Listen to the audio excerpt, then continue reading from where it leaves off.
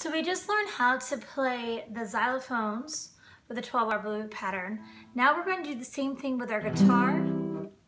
So we have the C chord. It's the first chord that you really need to know how to play because you know there are eight measures that you're playing the C chord. So you want to make sure you have that. Make sure you find your finger. Your first finger is on B on the first fret. Second finger is on D on the second fret, Eddie ate dynamite. Third finger is on A, Eddie 8 on the third fret. Take a moment. One, two, three. My pinky is just chilling out, okay? And I just practice and I say C, two, three, four. Every measure has four beats. And then it goes to the F. You take your hands off the F and practice and put your hands back on for C, two, three, four. And then say G, G, two, three, four, F, two, hands back on for C, two, three, four, C. Reason why I want you to put your hands off back on is so you're not just holding on to dear life and can't wait for that chord to come back again. Um, you are learning how to put your fingers on and off, just like how you're moving your mallets around the xylophones. Now the next thing is the F chord. The F chord we already learned, but we're gonna talk about it again. Put your first two fingers on the B and the E. Your second finger is gonna be on the G on the second fret, and your third finger is gonna be on the D on the third fret and you play all four strings. Don't play the top two strings because there's an X on that. So we have, okay? So then you practice the same way. You have C, two, three, four, two, four, two, three, four.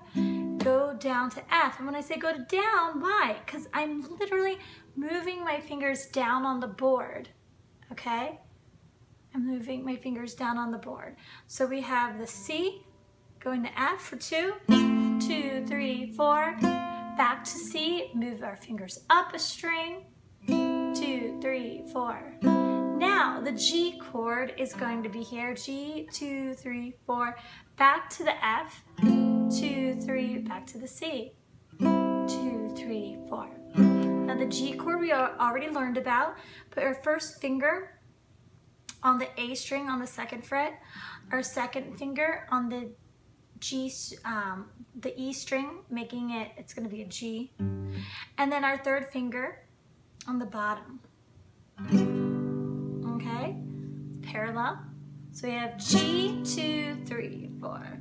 And then we go the F chord for the last phrase, two, back to C, two, three, four. So the chords go like this, C,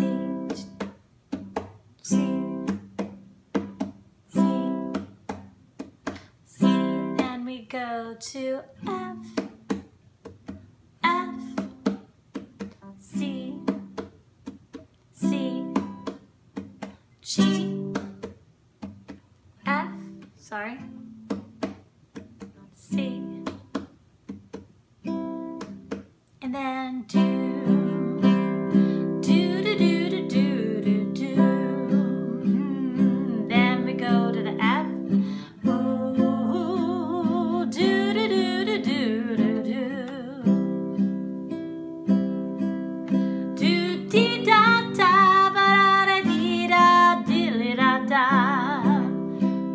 letter names as we play.